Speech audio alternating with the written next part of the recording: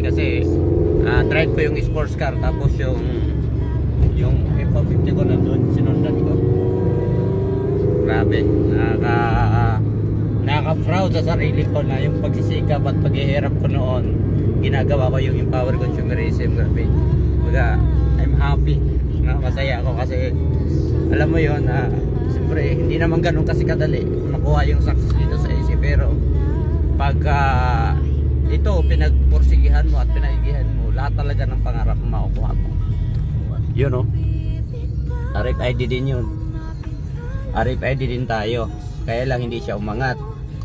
So, kasi yung sensor niya may so ah, sa mga nangangarap po na nakasubaybayo sa akin sa sa FB ko sa Facebook ko mag i- mag-inbox ka sa akin kasi ako yung ako kasi ngayon naghahanap ako ng uh, Aida diary ko at ah, tuturuan ko.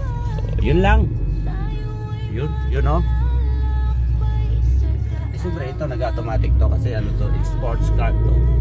Yes.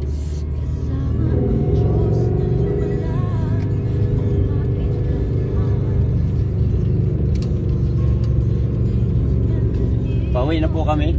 Grabe. Bang klasik.